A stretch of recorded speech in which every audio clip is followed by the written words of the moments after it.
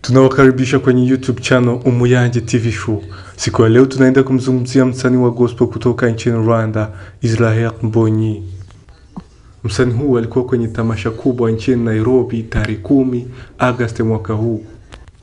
Alipokelewa na viongozi wakubwa na pia ma celebrities kutoka nchini Nairobi, Kenya. Kabla ya kufanya show yake, alialikwa kwenye mkutano wa Comedy Churchill Comedy Show kuongea na audience na pia wakamuuliza wakamu na pia wakamuuliza maswali tofauti kuhusu mziki na pia maisha private life. Wakenya walifurahi sana mpaka wakamwomba usirudi nyumbani, kaa nasi ukuwe mmoja wetu. Tarehe kumi Agosti alifanya mkutano mkubwa kwenye stadium ya Ulinzi.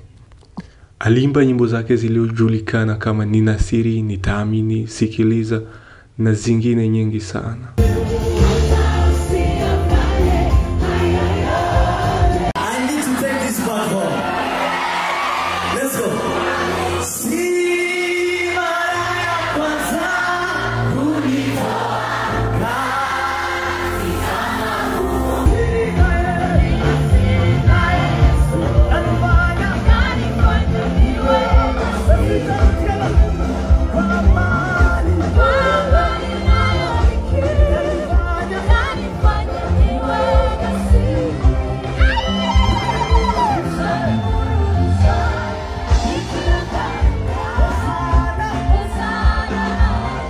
Ilikuwa tamasha kubwa na pia Israel Mbonyi alifuraha, akaandika kwenye ukurasa wake wa Instagram akawashukuru wa Kenya na pia akaandika eti Kenya, your love is so authentic. How do you apply to be one of you? Alitoka Kenya akarudi Rwanda kupumzika kidogo, lakini anaendelea na masho tofauti kwenye nchi tofauti. Tarehe ishirini Agosti mwaka huu alifika kwenye nchi ya, Uganda, Kampala, na pia tarehe ishirini na tano atafanya show Mbarara Town nchini Uganda. Alipokelewa vizuri na watangazaji na pia wananchi, na pia Uganda amepokelewa vizuri, alipokelewa na watangazaji na pia wananchi. Tutazidi kufuatilia na pia tutazidi kuwapa habari zaidi. Stay tuned.